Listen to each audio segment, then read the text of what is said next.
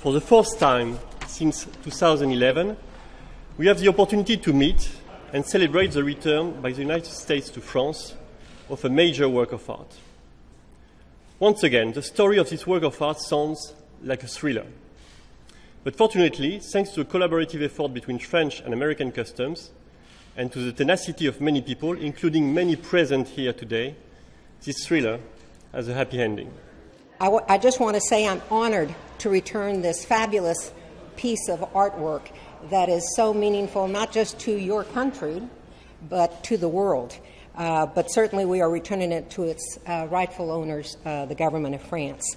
As uh, the deputy chief of mission said, we uh, know about the history of the painting. We know that it was last displayed uh, in 1998 in Munich. When the world last got to see this extraordinary piece, and was sitting in the National Museum of Modern Art in Paris when it was reported stolen. Uh, and now, over 100 years after its creation, here we are returning it to the government of France. I, this is just a, a, a, wonderful privilege for me to be a part of this event.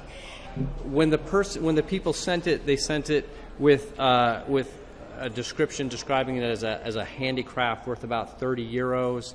They had a notation on the on the shipping paperwork indicating that it was for uh, Joyeux Noël, uh, um, perhaps indicating it was supposed to be a, a Christmas gift for someone. Um, as it turns out, uh, of course, it was sent to a special shipping facility that had climate control, which you probably wouldn't do for a 30 euro uh, piece of handiwork.